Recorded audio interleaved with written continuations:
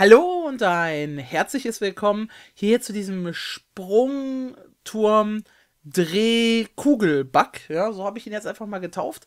Und genau darum soll es in diesem Video auch gehen. Ich zeige euch, wie ihr euch selber zu so einer drehenden Kugel verwandeln könnt. Ja, zuallererst mal, ihr braucht mehrere Versuche, das wird nicht auf Anhieb gelingen.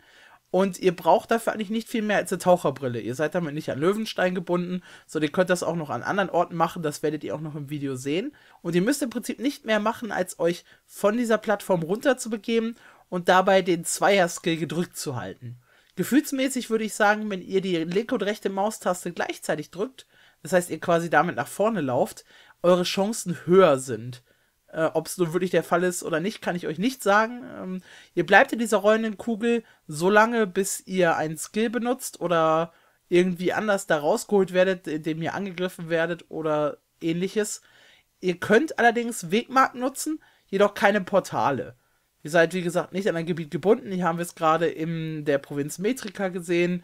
Ihr werdet das gleich auch nochmal in Ratasum selbst sehen.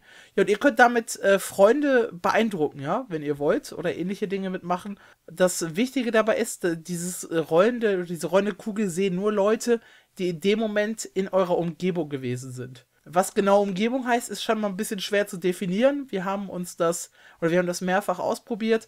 Mal geht diese Umgebung weiter, mal ist sie kürzer. Ich meine, das ist ein Bug, ja, und das ist übrigens nicht der einzige Bug, den es da mit der Taucherbrille gibt.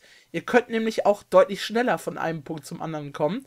Das zeige ich euch hier wieder in Löwenstein. Und zwar müsst ihr dafür euch nur die Taucherbrille aufsetzen, nach vorne dodgen und dann den Zweier-Skill gedrückt halten.